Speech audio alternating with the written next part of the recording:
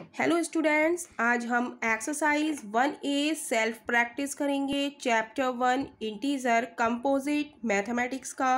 तो question number इसका exercise one A का हम फोर्टीन देखेंगे। The sum of two integer is fifty if one of them is minus thirty eight the other is तो हमें दिया है कि दो इंटीजर हैं, उनका जो सम है, वो क्या दिया है? फिफ्टी दिया है राइट right? तो हम दो इंटीजर का सम कर लेते हैं।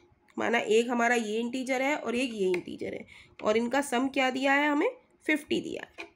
राइट हमने प्लस का साइन लगा दिया टू इंटीजर के लिए जगह रख दी। इफ़ कह रहा है if one of them is minus thirty eight कह रहा है कि अगर एक माइनस थर्टी एट हो द अदर इज़ तो दूसरा बताओ। तो दूसरा अगर हम एक्स मान लेते हैं तो ये इक्वेशन बन गई हमारी माइनस का थर्टी एट प्लस का x is equal to fifty right?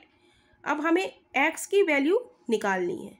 तो एक्स की वैल्यू निकालने के लिए हम एक्स के साथ जो भी लिखा हुआ है, प्लस में या माइनस माइनस में लिखा हुआ है थर्टी एट तो हमें इसे हटाना पड़ेगा।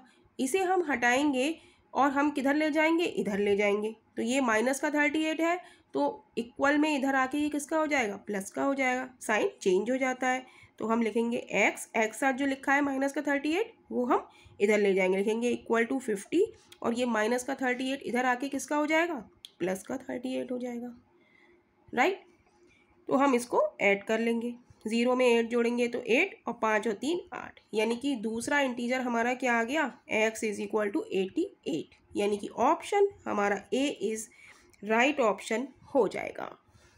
तो यही इस क्वेश्चन का आंसर है। नेक्स्ट क्वेश्चन के लिए नेक्स्ट वीडियो में मिलेंगे। और वीडियो पसंद आ रहा हो तो वीडियो को लाइक कीजिए और चैनल को सब्सक्राइब कीजिए।